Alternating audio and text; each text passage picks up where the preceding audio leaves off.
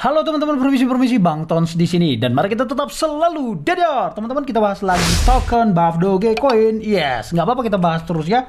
Iya, karena ya pastilah selain kalian nyangkut-nyangkut ya di ini lagi naik 2%, nggak apa-apa karena ya jangan dianggap hilang juga ya. Alright.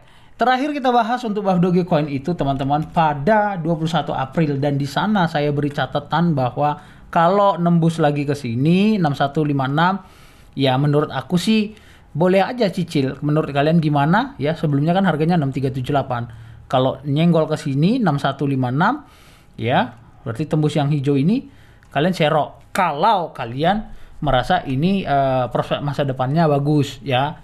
Ya, ingatlah proyeknya apa sih? Uh, kalian udah tahu sendiri. Dia udah beli uh, apa? land di Sandbox kan? Nah, kita lihat yuk dari sini. Dari Twitternya sebetulnya ya, saya langsung main cepat aja. Ya, masih seputar gitu-gitu lagi ya ini news lah apalah kayak gitu gitulah uh, food lah. Nah ini yang dia apa video yang uh, ngebelah itu. Ini cuma 100 ya makin dikit juga ya. Right now we are uh, nah ini uh, pemberitahuan lagi bahwa ya kami lagi ngerjain dua project ya kan? We are uh, we hope we are reveal it soon ya. Artinya apa itu? Kita nah gini kami berharap kami reveal tuh apa ya? Reveal, reveal. Hey, come on. Kami kami berharap kami dapat mengungkapkannya segera. Ya maksudnya diberitahu lah gitu ya, dikasih pengumuman, diinformasikan kira-kira gitulah. Oke, okay, ya udah kerjain lah ya, gitu ya, ya Dev ya. Oke, okay, hanya itu. Nah, tapi mari kita lihat. Kita lihat ya sekarang ke ini kan, ada metaverse ini kan bisa aja ini sebetulnya sesuatu yang cakep nantinya yang di sandbox ini teman-teman. Jadi tetap ikat itu aja sih kalau aku bilang. Nah lanjut apalagi di sini ndak ada sih. Sama sekali ndak ada. Oke lanjut kita lihat ke chart teman-teman. Nah di pembahasannya kan sebelumnya segini kan 6156 6156 nah sekarang di sini nih. Lihat ya bener kan? Turun kan? Yes karena begitu dan ini kemungkinan turun. Deng betul aja. Sekarang harganya di Nih 5921.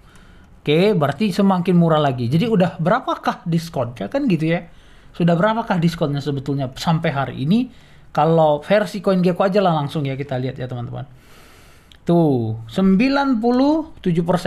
Kita kita genapkan pembulatan ke atas ya. 97%. Aduh ini ngelek-ngelek. Ya itulah pokoknya 97% teman-teman.